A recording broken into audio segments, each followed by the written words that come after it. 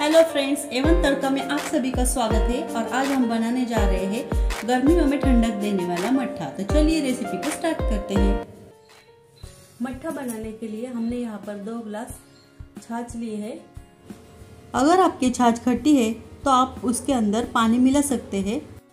अब हम इसमें दो चम्मच चीनी डालेंगे। चीनी आप अपने हिसाब से कम या ज़्यादा कर सकते हैं। अब हम इसे रवि से फेंट लेंगे। चीनी अच्छी तरह से मिक्स हो चुकी है। इसमें हम डालेंगे आधा छोटा चम्मच रोस्टेड जीरा पाउडर एक बारीक कटी हुई हरी मिर्च, काला नमक।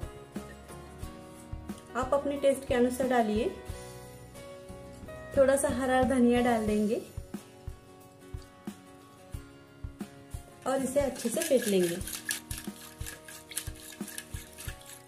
गर्मियों का सीज़न चलता है तो कुछ ना कुछ ठंडा पीने का मन होता है तो हम इस तरह से घर में ही अच्छा सा टेस्टी मट्ठा बना सकते हैं।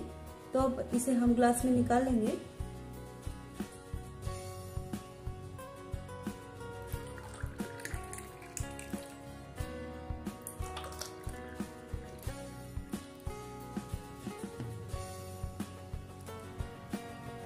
अब हमारा गर्मियों में ठंडक देने वाला मट्ठा।